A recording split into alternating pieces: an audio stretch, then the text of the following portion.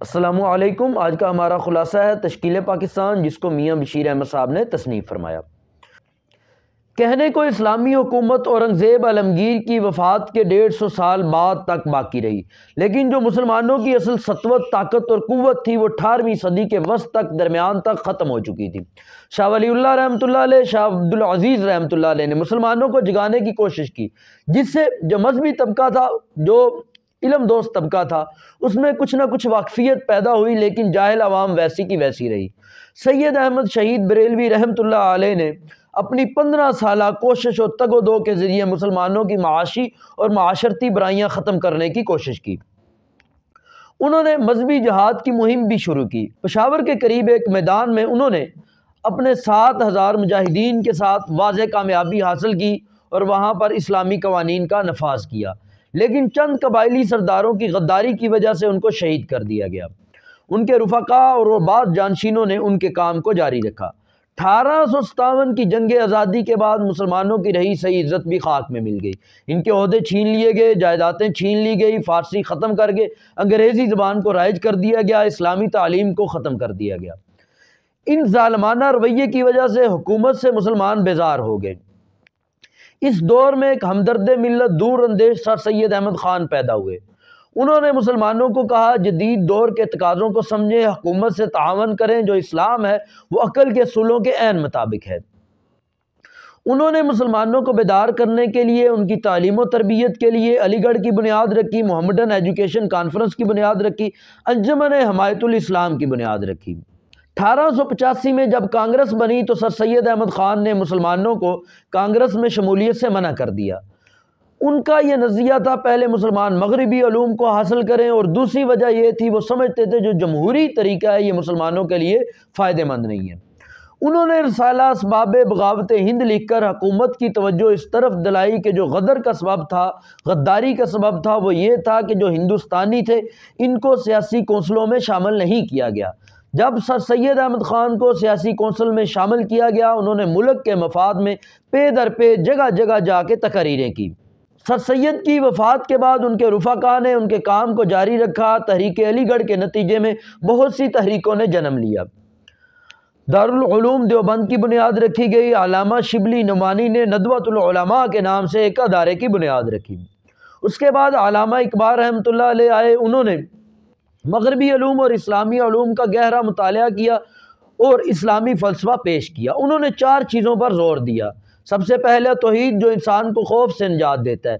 आप सल्लल्लाहु अलैहि वसल्लम की तबाह कुरान पाक पर और रजाइत पर, यानी उम्मीद पर ज़ोर दिया। मुसलमान कायदीन और लीडरों की पुकार पर मुसलमान कहीं ना कहीं जाग चुके थे। लेकिन माशी मैदान में अपने हमसायों से काफ़ी पीछे थे। और ये बात भी सूरज की तरह वाज है, कोई कौम उस वक़्त तक तरक्की नहीं कर सकती जब वो सियासी तौर पर मज़बूत ना हो। अगरचे सर सैद अहमद ख़ान ने मुसलमानों को कांग्रेस में शमूलियत से मना किया था। लेकिन अभी एशिया और हिंदुस्तान के हालात यकसर चेंज हो चुके थे।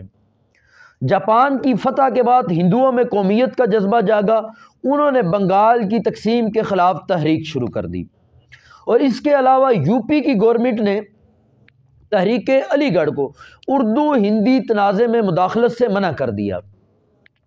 इन हालात को देखते हुए मुसलमानों को ये महसूस हुआ, उनको सियासी और अपने माशी हकूक़ के तहफ़ के लिए एक सियासी जमात बनाना होगी। तो उन्होंने मुस्लिम लीग 1906 में उन्होंने मुस्लिम लीग की बुनियाद रखी। जंग बल्कान और त्राबलस के बाद मुसलमानों को ये यकीन हो गया, इनके हकूक़ बरतानिया के हाथ में महफूज नहीं है। तो इन्होंने मुस्लिम लीग ने कांग्रेस की तरफ़ तावन का हाथ बढ़ाया। मुस्लिम लीग और कांग्रेस के दरमियान मैसाक लखनऊ हुआ, जिसकी वजह से बरतानिया ये ऐलान करने पर मजबूर हो गया कि वो बतदरीज रफ्ता रफ्ता हिंदुस्तान को खाली कर देगी और यहाँ पर खुद मुख्तार हुकूमत कायम कर देगी। लेकिन जंग का ख़त्म होना था। बरतानिया ने मुसलमानों से, हिंदुस्तानियों से तोते की तरह आँखें फेर दी और ालमाना कवानीन राइज करना, लागू करना शुरू कर दिए। गांधी ने अली बरदरान के साथ मिलकर हुकूमत से अदम तावन की तहरीक शुरू की। तहरीक का ख़त्म होना था, मुस्लिम हिंदू ताल्लुकात ख़राब हो गए।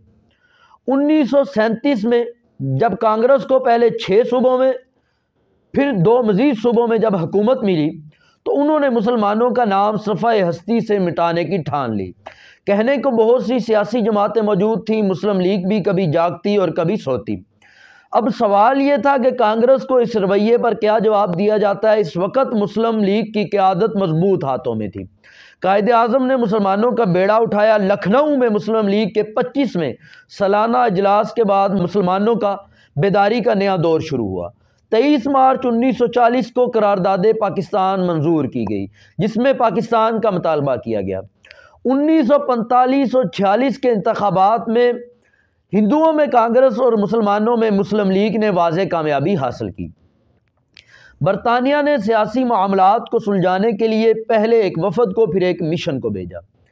लेकिन मिशन की कांग्रेस नवाज़ पॉलिसी की वजह से मुस्लिम लीग ने उसको कबूल करने से इनकार कर दिया। बहरहाल, मुस्लिम लीग आर्जी तौर पर हुकूमत में शामिल हो गई। लेकिन इनके बाद बात पर इख्तलाफात होने लगे। मुल्क भर में भी फ़िरका वाराना फसादात शुरू हो गए। बरतानिया ने यह ऐलान किया, वो जून 1948 को हिंदुस्तान को खाली कर देगी। जनवरी उन्नीस को पंजाब में मुस्लिम लीग के जेर के आदत एक ऐसी ज़बरदस्त तहरीक ने जन्म लिया कि वह तहरीक चंद ही दिनों में मुल्क में फैल गई, जिसमें मर्दों ख़वातीन ने बराबर हिस्सा लिया। इससे बरतानिया को ये यकीन हो गया, अभी पाकिस्तान का मुतालबा ज़्यादा देर अल्तवा का, तखीर का शिकार नहीं किया जा सकता। दूसरी तरफ़ जो पाकिस्तान के मुखालफी थे, उन्होंने पाकिस्तान के ख़िलाफ़ और फ़िरका वराना फसादात मुल्क में शुरू कर दिए, जिसकी जो साल के आखिर तक जारी रहे, जिसकी वजह से आठ से दस लाख मुसलमानों को शहीद कर दिया गया। बिल आखिर बरतानिया ने यह ऐलान किया कि वो पंद्रह अगस्त उन्नीस सौ सैंतालीस को दोनों मुल्कों को आज़ाद करके ख़ुद मुख्तार हुकूमत दे देगी। पाकिस्तान वजूद में आया, पाकिस्तान का वजूद में आना दुनिया के सामने एक बहुत बड़ी ताकत बन के उभरा, जिसके नतज का अंदाज़ा अभी तक दुनिया नहीं लगा सकी। दूसरी चीज़, जो पाकिस्तान की मिलत इस्लामिया है, मुसलमान है, उन पर यह बात रोज़ ब रोज़ वाज हो रही है। अगर वो अपना इस्लामी जमहूरी फ़र्ज़ अदा करना चाहते हैं तो उनको मुल्क में इस्लामी जमहूरीत नाफज करना होगी, जिसमें मुस्लिम, गैर मुस्लिम को हकूक़ हासिल होंगे। मर्द ख़वान को बराबर के हकूक़ हासिल होंगे। जगीरदार और पैसे वाले को अहमियत न दी जाएगी, बल्कि गरीब को उसका हक मिलेगा। मुसलमानों का नस्बुल आयन इस्लाम है। वो इस्लाम नहीं जिसका डनका ालम और जाबर हुक्मरान बजाते रहे। वो इस्लाम जिसका नमूना आप सल्लल्लाहु अलैहि वसल्लम और खुलफ़ाए राशिदीन ने पेश किया। यकीन ये खुलासा आपको समझ में आ गया होगा, लेकिन जल्दी से इसको एक बार रिपीट कर देते हैं। कहने को इस्लामी हुकूमत और रंगजेब अलमगीर की वफात के डेढ़ सौ साल बाद तक बाकी रहेगी लेकिन जो असल ताकत और सतवत और कुत थी वो ख़त्म हो चुकी थी, ठीक है? शाह वलील्ला शाह अब्दुल अज़ीज़ ने मुसलमानों को जगाने की कोशिश की, जिससे जो इलम दोस्त तबका था, उसमें तो वाकफियत पैदा हुई, जाहल अवाम वैसे की वैसी रही। और सैयद अहमद शहीद बरेलवी रहमत ने मुसलमानों की खामियाँ और बुराइयाँ शुरू करने के लिए पंद्रह साल कोशिश की, और उन्होंने मजहबी जहाद के नाम से एक मुहिम भी शुरू की, पिशावर के करीब एक मैदान जंग में। उन्होंने वाज कामयाबी हासिल की, लेकिन चंद कबायली सरदारों की गद्दारी की वजह से उनको शहीद कर दिया गया। आज रुफका ने उनके मिशन को जारी रखा। अठारह सौ सत्तावन की जंग आज़ादी के बाद मुसलमानों की रही। सही खाक में मिल गई, अहदे छीन लिए गए, जायदादें छीन ली गई, इन पर तरह तरह के जुलम किए गए। ये हुकूमत से बेजार हो गए। इस दौर में एक हमदर्द मिलत दूरंदेश सैद अहमद खान पैदा हुए। उन्होंने हुकूमत से तावन का कहा। उन्होंने कहा कि जदीद दौर के तकाज़ों को समझे। उन्होंने मुसलमानों को जगाने के लिए मोहम्मदन एजुकेशन कॉन्फ्रेंस की और अंजमन हमायतुल इस्लाम की बुनियाद रखी। जब कांग्रेस बनी उन्नीस सौ पचासी में, उन्होंने मुसलमानों को कांग्रेस में शमूलियत से मना किया। वो जानते थे कि जमहूरी तरीका मुसलमानों के लिए फ़ायदेमंद नहीं है और उन्होंने रसाला बाब बगावत हिंद लिख कर हुकूमत को ये बात वाजे करने की कोशिश की। जो गदर का सबब था वो ये था कि हिंदुस्तानियों को सियासी कौंसलों में शामिल नहीं किया गया, जब सर सैद अहमद खान को सियासी कौंसल में शामिल किया गया, उन्होंने मुल्क, मुल्की मफाद में पे दर पे तकरीरें की। उनकी वफात के बाद उनके रफाकान ने उनके मिशन को जारी रखा। तरीके अलीगढ़ के नतीजे में बहुत सी तरीकों ने जन्म लिया दारुलूम देवबंद की बुनियाद रखी गई नदवतुलमा ने, लामा शिबली नमानी ने। तरीके अलीगढ़ के नतीजे में बहुत सी तरीकों ने जन्म लिया दारुलूम देवबंद की बुनियाद रखी गई, लामा शिबली नमानी ने नदवतुलमा के नाम से अदारा बनाया। इसके बाद लामा इकबाल आए, उन्होंने इस्लामी और मगरबी का गहरा मुताल करने के बाद चार चीज़ों पर ज़ोर दिया और इस्लामी फलसफा पेश किया। उन्होंने चार चीज़ों पर ज़ोर दिया, वो थे तोहद, रसालत रजाइत और कुरान पाक। इन चार चीज़ों पर उन्होंने ज़ोर दिया। मुसलमान कायदीन की पुकार पर कहीं ना कहीं जाग चुके थे, लेकिन माशी तौर पर मज़बूत थे और ये बात भी वाजह है, जब तक ये सियासी तौर पर मज़बूत नहीं होंगे, ये तरक्की नहीं कर सकते। अगरचे सर सैद अहमद खान ने मुसलमानों को कांग्रेस में शमूलियत से मना किया था, लेकिन अभी हालात चेंज हो चुके थे। जापान की फतह के बाद हिंदुओं में कौमियत का जज्बा जागा। उन्होंने बंगाल की तकसीम के खिलाफ तहरीक शुरू की और यूपी की गवर्नमेंट ने उर्दू हिंदी तनाज़े से अलीगढ़ को मना कर दिया। तो इसे मुसलमानों ने अपने सियासी हकूक के तहफ़ के लिए मुस्लिम लीग की उन्नीस सौ छः में बुनियाद रखी। जंग बलकान और त्राबलस के बाद इन्होंने देखा बरतानिया के हाथ में इनके हकूक महफूज नहीं है। तो इन्होंने क्या किया? हिंदुओं के कांग्रेस के साथ एक मसाके लखनऊ किया जिसकी वजह से बरतानिया ने ऐलान किया कि वो बतदरीज यहाँ को हिंदुस्तान को खाली कर देगी, लेकिन जंग ख़त्म हुई तो इन्होंने मुसलमानों से आँखें फेर ली। तो गांधी ने अली बरदरान के साथ मिलकर हुकूमत से अदम तावन की तहरीक शुरू की। जैसे ही तहरीक ख़त्म हुई, मुस्लिम तल्लक ख़राब हो गए, मुस्लिम हिंदू तल्लक ख़राब हो गए। उन्नीस सौ सैंतीस में जब कांग्रेस को छः सूबे में, फिर दो सूबे में मजीद हुकूमत मिली, उन्होंने मुसलमानों का नाम सफ़ाई हस्ती से मिटाने की ठान ली। तो अभी सवाल ये था कि इस, कांग्रेस को इस, अंदाज पर वही पर क्या जवाब दिया जाता? है इस वक्त मुसलमानों की क्यादत कायद के हाथ में थी?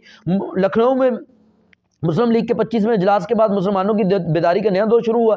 तेईस मार्च 1940 को करारदाद पाकिस्तान मंजूर की गई। 1945 और छियालीस के इंतबात में पहले हिंदुओं में कांग्रेस, मुसलमानों में मुस्लिम लीग बरसर इकतदार आई इनको कामयाबी हासिल हुई तो बरतानिया ने इन मामला को सुलझाने के लिए पहले वफद को भेजा, फिर मिशन को भेजा, लेकिन वफद की, मिशन की कांग्रेस नवाज़ पॉलिसियों की वजह से मुस्लिम लीग ने इसका इनकार कर दिया, इसको कबूल करने से, और वो आर्जी तौर पर हुकूमत में भी शामिल तो हो गए, लेकिन बात बात पर इख्तलाफात होने लगे और मुल्क में ही फ़िरका वराना फसादात शुरू हो गए। बिलाकर बरतानिया ने ऐलान किया वह जून उन्नीस सौ अड़तालीस को मुल्क को खाली कर देगी, लेकिन क्या हुआ? जनवरी उन्नीस सौ सैंतालीस को ही, जिस साल पाकिस्तान बना, उसके पहले महीने को ही मुल्क में पंजाब से एक ऐसी तहरीक शुरू हुई जिसमें मर्दों ख़वान ने हिस्सा लिया। बहुत ज़बरदस्त तहरीक थी, जिसकी वजह से बरतानिया ये समझ गया कि अभी पाकिस्तान का मुतालबा इतवा का शिकार नहीं रखा जा सकता। दूसरी तरफ़ पाकिस्तान मुखालफी ने फ़िरका वराना फसादा शुरू कर दिए जिसके नतीजे में क्या हुआ? बहुत से मुसलमान, आठ से दस लाख मुसलमान शहीद कर दिए गए। बार बरतानिया ने ऐलान कर दिया कि पंद्रह अगस्त उन्नीस सौ सैंतालीस को दोनों मुल्कों को आज़ाद कर देगी और अलहदा हुकूमतें कायम कर देगी। पाकिस्तान मार्च से वजूद में आया, इसका मार्च से वजूद में आना दुनिया के लिए एक ऐसी ताकत बन गया उभरा, जिसके अंतज का अंदाज़ा अभी तक दुनिया नहीं लगा सकी। और दूसरी चीज़, ये मुसलमानों पे, जो पाकिस्तान के मुसलमान हैं, इन पर भी ये रोज़ बर रोज़ बात वाजह हो रही है। अगर ये इंसानी और इस्लामी फ़र्ज़ अदा करना चाहते हैं तो इनको मुल्क में इस्लामी जमहूरियत लागू करना होगी, जिसमें मर्दों ख़वान को हकूक हासिल होंगे, गैर मुसलमों को हकूक हासिल होंगे, जिस गिरदार को कोई जगह ना होगी, मुसलमान जो गरीब तब पिसा हुआ तबका है, उसको, उसका हक मिलेगा। और मुसलमानों का नस्बुल आयन इस्लाम है, वो इस्लाम नहीं जिसका डंका ालम हुक्मरान बजाते रहे, बल्कि वो इस्लाम जिसका नमूना सल्लल्लाहु अलैहि वसल्लम खुलफ़ाए राशदीन की ज़िंदगी में नज़र आता है। अच्छा जल्दी से इसके पॉइंट ज़िक्र कर देते हैं। सबसे पहले वो मुसलमानों की हुकूमत का, आप, सैयद अहमद शहीद बरेलवी का, अठारह सतावन की जंग आज़ादी का, सर सैयद अहमद ख़ान के पैदा होने का, इनके दारों का, और कांग्रेस के बनने का, और इनका साला सबाब बगावत हिंद का, इनका ज़िक्र करेंगे। और इसके बाद अलामा इकबाल का, इनका ज़िक्र करेंगे। उनका आना और कायदीन की पुकार पर जाग जाना, लेकिन हालात का चेंज हो जाना और इन्होंने मजबूरन एक सियासी जमात का बनाना, उसका ज़िक्र करेंगे। और मैसाख लखनऊ जो इनके दरमियान हुआ और जो तहरीक शुरू हुई और कांग्रेस को वजारतें मिली, इनका और तेईस मार्च और इसका ज़िक्र करेंगे और उन्नीस सौ पैंतालीस और छियालीस के इंतबात का ज़िक्र करेंगे और बरतानिया ने मामला को सुलझाने की कोशिश की और तहरीक जो पंजाब से जन्म ली, उसके बाद उसका ज़िक्र करेंगे। तो पाकिस्तान का ऐलान जो किया गया, इसका ज़िक्र करेंगे और उसके बाद क्या ज़िक्र करेंगे कि मुसलमानों पर भी ये बात कौन सी वाजह हो रही है और मुसलमानों का नस्बुल आयन क्या है? यकीनन ये खुलासा आपको समझ आ गया होगा, याद हो गया होगा, लेकिन अगर कुछ भी मसला है, इसको दोबारा सुने, उसके बाद इसको लिखें। इन एक बार लिख लेंगे, बहुत आसान खुलासा है, फिर इन कभी नहीं भूलेगा।